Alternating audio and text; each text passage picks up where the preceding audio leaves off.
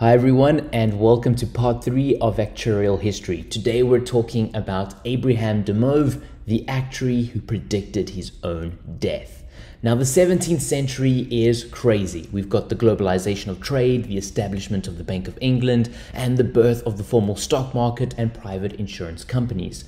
But with no actuaries, contract durations were short, it was more gambling rather than risk evaluation, lots of fraud and speculation, basically financial chaos.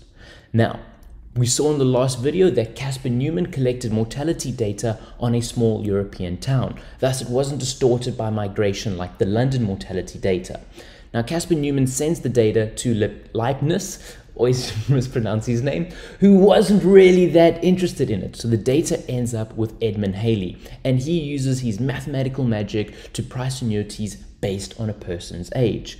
But the maths does start to get a little bit too difficult, and he admits that he failed to handle more complex life assurance problems. So, a quick little summary of the story so far. We've got Edmund Halley, who's pricing annuities using mortality data. We've talked about James Dodson, who wanted to form an insurance company based on actuarial science. Edmund Mores says that we need an actuary to do the calculations. He comes up with the name actuary, and then we see that we have someone called Richard Price who does the calculations and he mentors a young William Morgan who would go on to become the father of actuarial science. But let's look a little bit at Dodson. Because besides the finance of Richard Price, he needed three things the mathematics of Newton, the demography of Halley, and the statistics of the star of today's video, Abraham de Moivre. Now, funnily enough, all three of them were best friends, and we can think of them as the three musketeers of actuarial science. Now, Edmund Halley was a rich kid who sailed around the world, measured the solar system, and basically had his bum in the butter Abraham de Moivre was a little bit different. He got kicked out of France for being a Protestant and wasn't allowed to teach at English universities because he was French.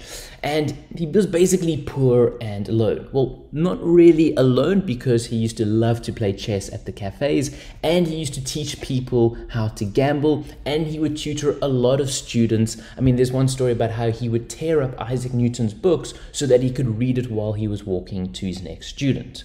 But now, if you thought that Isaac Newton was clever, Abraham was even smarter. And I mean, this makes sense. In the Bible, we see that it's Father Abraham, and you know, he's got the son Isaac. And even Isaac himself admitted that Abraham knows all these things better than I do. So I mean, sorry, I couldn't resist the the little bit of a joke, but um, I mean, let's maybe prove this. Like, why was Abraham smarter? Well, Isaac Newton figured out the binomial theorem, whereas Abraham was able to extend it to the multinomial theorem. And of course, when the Royal Society heard about this, they were like, welcome to the club. Now look, he did do quite a lot of cool stuff with planetary motion and saw a connection between trigonometry and complex numbers, which I don't really understand, so we're going to focus more on the statistical achievements. And yeah, let's go through some of them. The Poisson distribution. It wasn't Simon Denis Poisson, but Abraham de Moivre. The Gaussian distribution wasn't Carl Friedrich Gauss, but it was Abraham de Moivre. I mean, have you ever wondered why there is pi in the normal distribution formula? Well, one day, de Moivre sat down and started flipping a bunch of coins, and he was counting them over and over again. Now, th this lets him stumble on the central limit theorem, which is probably the most important theorem in all of science and mathematics. I mean, Alan Turing also kind of like figured it out or did the proof. Unfortunately, a Scandinavian mathematician called Lindeberg had finished it before him. Uh, but coming back to, to pi, what happens is Abraham's busy flipping the coins and he notices that n factorial is equal to the following expression. And he gets a little bit of assistance, but he sees that this constant c is equal to the square root of 2 pi. Now, if we had to look at the two formulas, we can see with the binomial, we have n factorial, but when we come to the normal distribution, we no longer have n factorial because we can use this approximation which incorporates pi. He was also the first to show moment generating functions and these magical mathematical formula allow you to calculate all the moments of a distribution. And you can learn more about these statistical things in my Udemy course on mathematical uh, statistics for the actuarial exams.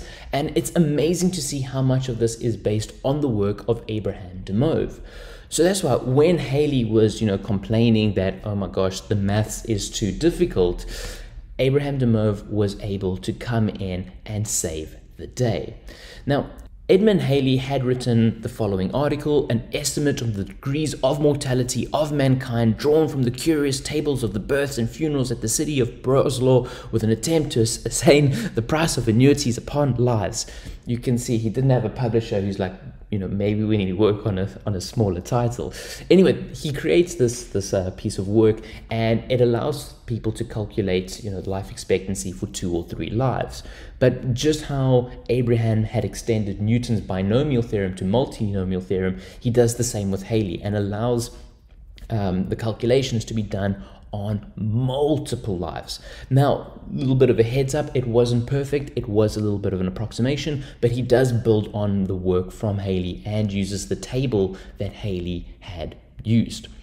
Now, when we look at the, the writings of James Dodson, we see that he talks quite a lot about Abraham um, de Moivre and the tables that he's now extended for the annuities for lives.